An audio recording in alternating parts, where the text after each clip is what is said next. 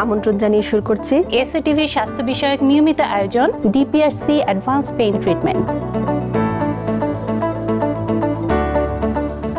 Arthritis রোগটি কি? শরীরের কোনো জোড়ায় কোনো প্রদাহ হয় সেটাকে আমরা আর্থ্রাইটিস বলে থাকি।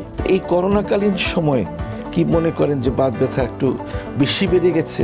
মূল কারণ হচ্ছে যে দীর্ঘদিন মানুষ বাসায় থাকা মুভমেন্ট কমে যাওয়া তারপরে হচ্ছে অপর্যাপ্ত চিকিৎসা ছিল, কারণ মানুষ চাইলেই চিকিৎসা পেত না। মানুষের ধারণা যে কোনো একটা জায়গায় গিয়ে ফিজিওথেরাপি করলে হয়ে যাবে। No it depends on doctor.